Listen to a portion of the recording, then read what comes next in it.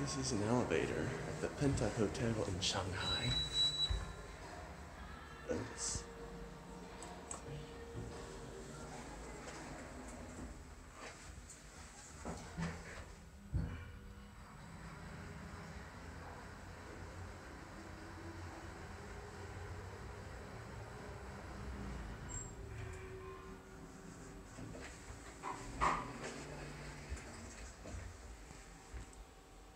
One.